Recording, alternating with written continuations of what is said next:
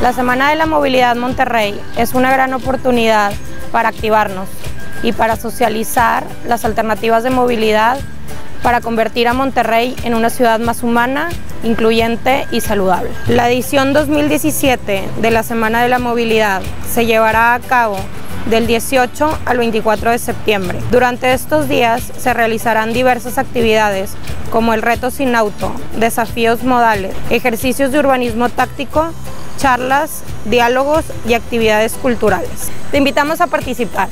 Puedes hacer el reto sin auto y lanzarlo a tus amigos y familiares e incluso puedes registrar alguna otra actividad que se realice a lo largo de la semana.